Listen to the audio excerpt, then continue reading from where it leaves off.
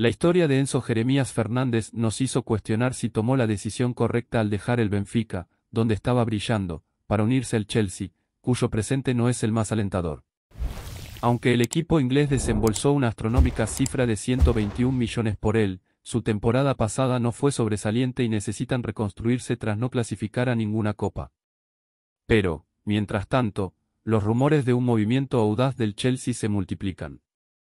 ¿Quién es el objetivo de los Blues? Nada más ni nada menos que Kylian Mbappé.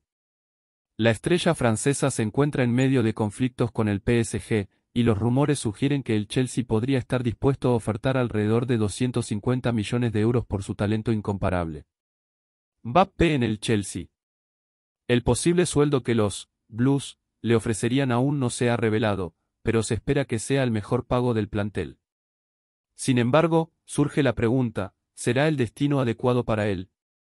Mbappé aspira a competir al máximo nivel, pero el Chelsea no disputará competiciones europeas esta temporada, lo que podría afectar sus ambiciones. Además, su corazón parece anhelar un camino diferente, con el deseo de unirse al Real Madrid.